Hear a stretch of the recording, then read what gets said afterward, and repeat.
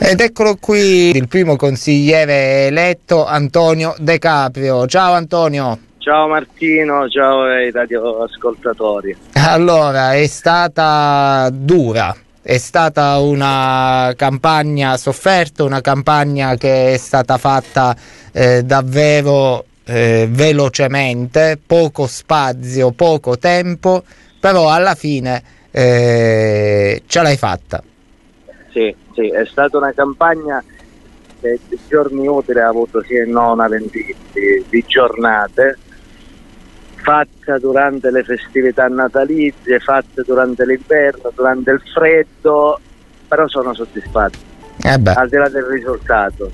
E ieri eh, scrivendo alla, alla nuova presidente le dicevo proprio questo, sono contento per i tanti attestati di stima che ho ricevuto e che le persone che hanno voluto sostenermi hanno ricevuto sulla mia persona e queste sono le soddisfazioni che ancora oggi chi fa politica riesce a, a togliersi. Beh, male non è andata a livello di preferenze perché comunque ho visto, eh, insomma, sono oltre 3.000 preferenze eh, sì. nell'intera circoscrizione nord. C'è da dire che comunque anche l'astensionismo eh, si è fatto sentire. Sì, l'astensionismo si è fatto sentire, l'affermazione per un sindaco di un borgo eh, come quello di Orso Marso è, è importante. Eh, però questo mi carica ancora di più di responsabilità per il futuro.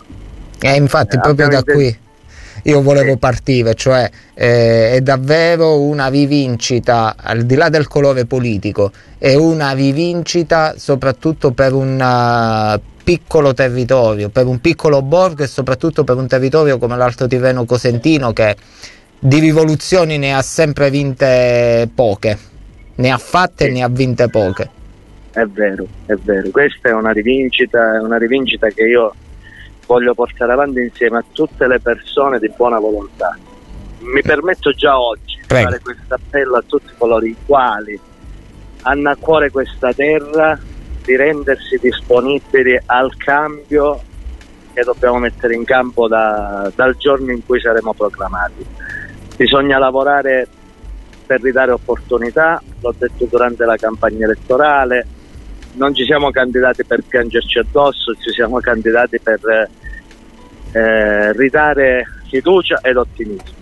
E questa è la missione che porteremo avanti durante i nostri cinque anni.